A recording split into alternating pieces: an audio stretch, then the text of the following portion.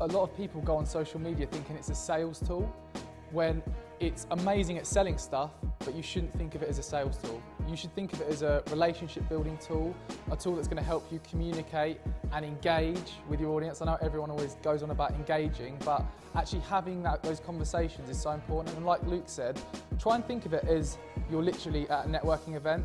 Would you shove your business card in someone's face, or would you start a conversation, uh, a meaningful conversation? So think of it like that.